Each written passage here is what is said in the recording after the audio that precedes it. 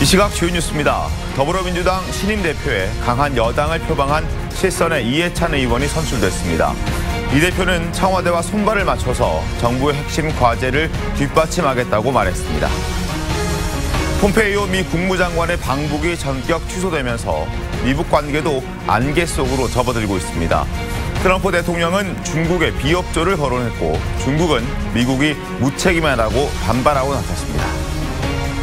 남북 단일팀의 국제종합대회 첫 메달이 카누에서 나왔습니다. 오늘은 선동열호가 대만을 상대로 첫 경기를 치릅니다. 사실상 미리 보는 결승전이라는 평가입니다.